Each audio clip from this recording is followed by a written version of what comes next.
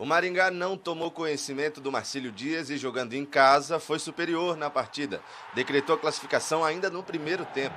Morelli abriu o placar. Robertinho, livre de marcação, chutou rasteiro para fechar a conta. 2 a 0 para o time paranaense, que carimbou a vaga na terceira fase da Copa do Brasil.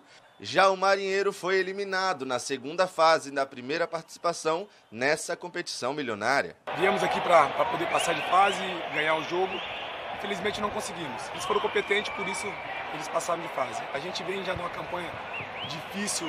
Graças a Deus conseguimos salvar na última rodada. É difícil. Era esse jogo foi o que esse grupo podia dar. Eliminada da Copa do Brasil e fora do catarinense desse ano, a equipe de Itajaí volta a ter o calendário só no segundo semestre de 2023, com a Copa Santa Catarina.